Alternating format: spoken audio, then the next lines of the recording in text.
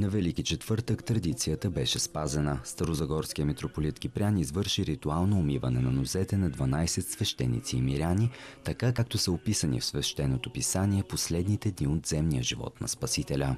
Тайната вечеря, на която Господ Исус Христос установява таинството на Светата Евхаристия, т.е. претворяването на тялото, на хляба в тяло и виното в кръв. Но преди това той измива нозете на своите ученици, показвайки крайно смирение.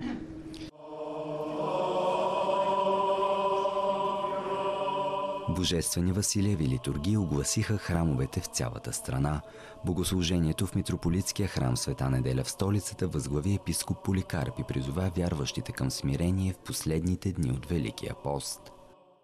А след служба деца и ученици боядисаха над хиляда яйца за празника. Света Мария Магдалена отишла при императора или цар и му казал, че Христос е възкръснал. Той казал, ако е възкръснал, това яйце да стане червено. И то станало червено. И затова първото яйце трябва да е червено. Кръвта на Исус Христос и винаги с червеното се помазва и се прави кръст на челото. Аз се включих в тази инициатива, защото ми е забавно и обичам да, да боядисвам яйца. Дойдохме за да помагаме на децата и да отпразнуваме празника заедно с позитивни хора. Инициативата на Софийската митрополия цели да приобщи децата по-близо до църквата. Това е бъдещето на народа и на църквата.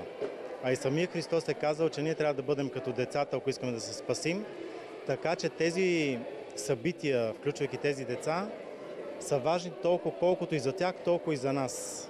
Празника завърши с литийно шествие до храма Света София, където децата поставиха вече боядисаните яйца пред иконата на Божията майка.